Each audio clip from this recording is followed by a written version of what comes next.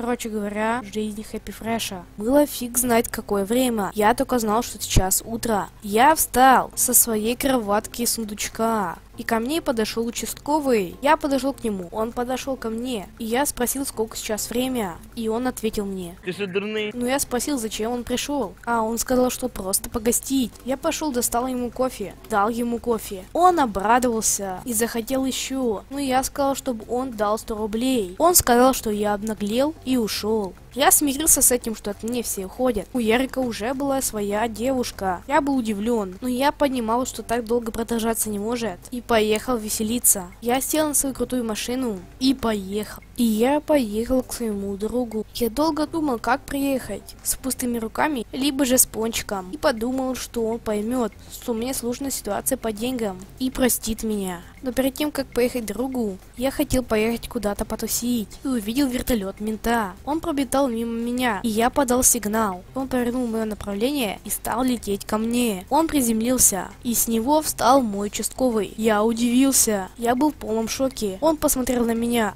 Он посмотрел на меня и предложил потусить. Я, как всегда, согласился. И походу я нашел себе друга мента. Это было круто, ведь теперь хоть где-то у меня есть связи. Друг мент предложил потусить у него на хате. Я без спросов согласился и сел в его вертолет. Мы полетели, и потом мы пришли наконец-то к ему на хату. Мы вошли, в доме было очень красиво, но все-таки это друг мент. Я пришел, он ударил меня за то, что я не вытер ноги.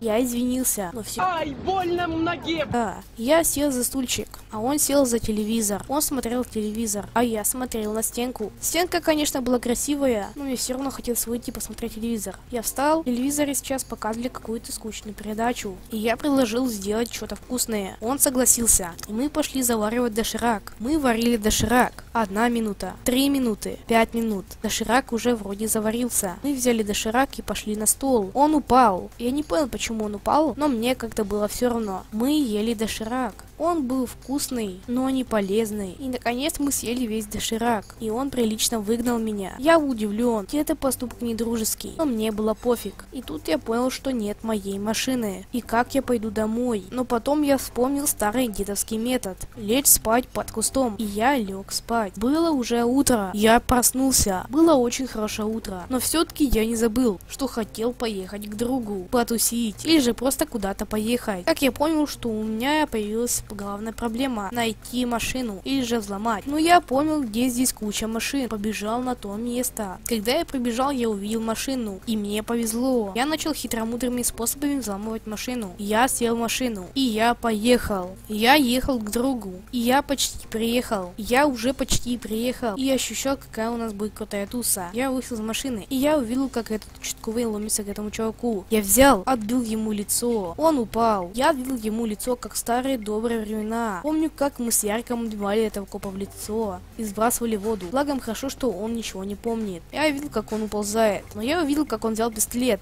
и быстро побежал к другу. Он открыл дверь, я вошел к нему домой. Я увидел его, мы поздоровались. Он был хорошим человеком, ну почти. Мы с ним прошли на кухню, здесь вкусно пахло. Походу он хорошо готовит. Он приготовил борщ, и мы с ним покушали борщ. Он был вкусный, но все-таки у меня смущало, что он такой хороший. Все друзья обычно что-то делают плохое. Но потом я увидел в окне своего друга участкового. Он наблюдал за нами. Мы внимательно посмотрели на него, и он упал. Вот как это называется, сила мысли. И он обратно полез, и упал. Нам было пофиг, и мы пошли. Здесь был телевизор, но на нем опять показывали новости. Притом неинтересные. Я побыл у друга, я побыл друга 10 минут, и мне немного надоело. Мы попрощались, и я ушел. Сел за свою машину, и хотел было ехать в свой гаражик, но я увидел этого участкового. Он как раз бежал за мной, и я уехал. Я ехал быстро, быстрее, чем гонщики, ну, практически. И я поехал на свой гаражик. Как друг позвонил мне Ярик и сказал, что они есть девушка в Египте. Вот же бывают богатые люди. Я приехал в свой крутой гаражик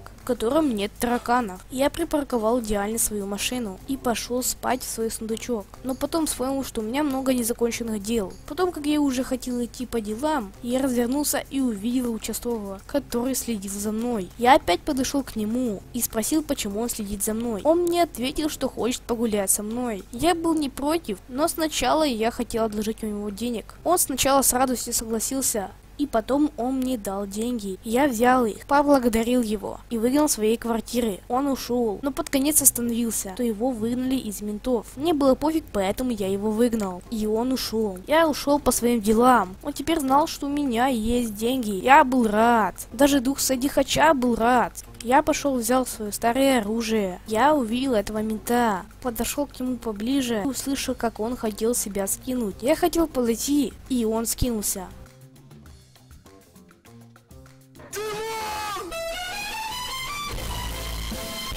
Мне было грустно, я ему еще не отдал долг. Но это даже плюс мне. Я нашел его старый вертолет, и я его начал хакать. Но потом я понял, что это не китайская система. Я хакнуть этот вертолет не могу. Конечно, было грустно, но я пошел по своим делам. Я хорошо прогуливался, но скоро был вечер. Но мне было все равно, так как я и шел в Пончиковую. И мне всегда рады в Пончиковой. Я зашел в Пончиковую, мне дали бесплатный пончик. Я сел за стул и немного загрустил, так как я помнил, как мы с Яриком грабили эту Пончиковую. Но теперь Ярика уже нет. Он сейчас в Египте, но он скоро приедет. Я посмотрел в окно и увидел этого участкового. Но потом я закрыл глаза, его уже не было.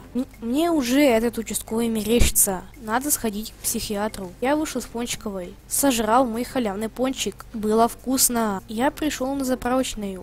Вспомнил, как здесь Ярик нашел свою девушку. Было обидно и одиноко, так как больше не с кем попить газировку, больше не с кем грабить магазинчики. Конечно, это все было грустно, но Ярик же не навсегда уехал в Египет, и это радовало. Потом я пошел в новый магазин. Когда я зашел в магазин, я увидел своего друга. Мы с ним опять поздоровались. Он спросил, что я здесь делаю. И потом я спросил, что он здесь делает. И мы так пялились три минуты. Но потом я спросил, что это за магазин. Он ответил мне, что это его магазин. Я немного прифигел. Ну, он гордился. Я спросил, что он здесь продает. Он сказал, что он продает пирожки по довольно выгодной цене. Я был удивлен и купил у него парочку. Потом я пошел к себе домой. Но вдруг увидел здесь чью-то машину. Взломал ее и поехал. Да, я приехал домой. Меня обрадовало то, что у меня есть запасной пирожок, и они были вкусными. Я уже хотел спать, но потом, когда я лег спать, мне позвонил Ярик и сказал, что он скоро приедет.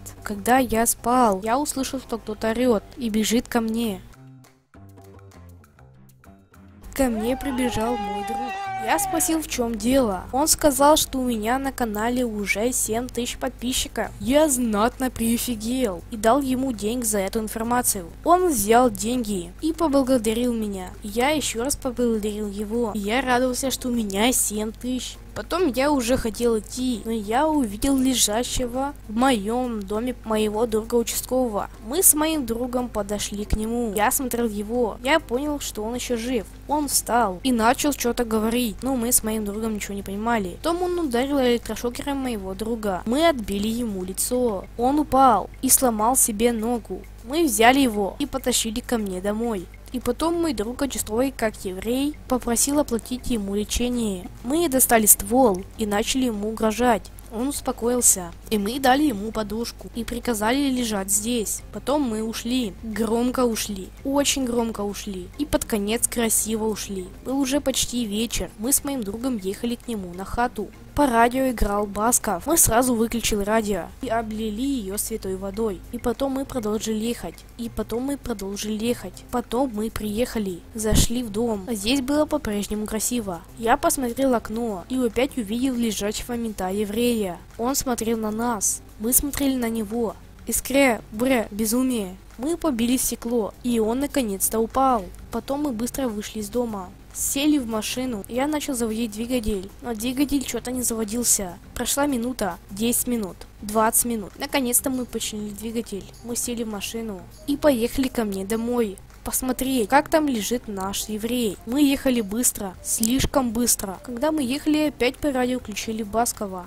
Но нам было пофиг. Мы уже приехали. Мы быстро заехали, встали, бежали. Мы его не видели, но потом увидели, как он хромает идет к нам. Мы офигели. Он сказал, что ему стало лучше. И потом он что-то начал держать калаш. И потом сказал, что мы в заложниках. Мы прифигели. Короче говоря, жизнь Хэппи Фреша. Ставьте лайк, если вы хотите, чтобы нас не убил мент-еврей.